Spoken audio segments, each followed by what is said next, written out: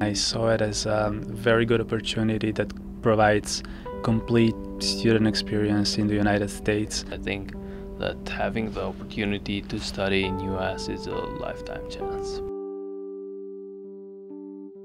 Aviation safety, global governance, politics and security, developmental practices, instructional system technology, social sciences.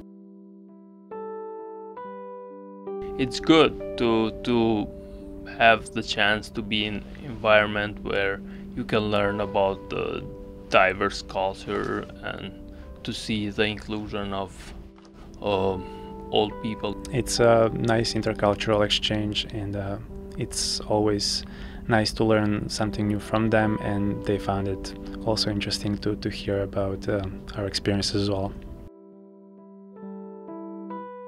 Seeing all these young professionals and students eager to help their country, um, I mean, is a positive thing. I believe that these people uh, will be future leaders. Knowing people that are really eager to push things forward, I think that's kind of it's an exhilarating feeling. We want to stay as a group and stay in touch uh, even after we finish our studies.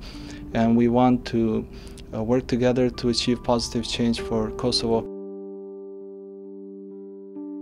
Well, I'm actually pretty excited to go back to Kosovo because I, I've left I've left Kosovo in a in a stage where it's kind of I see a lot of people being empowered on, on and especially young people I feel they're empowered and, and they see the fact that they can actually make a difference. When I started the program I didn't know most of the other scholars before and uh, I'm glad that I had to spend some time with them, get to know them, and that actually is something that raised my hopes about the country.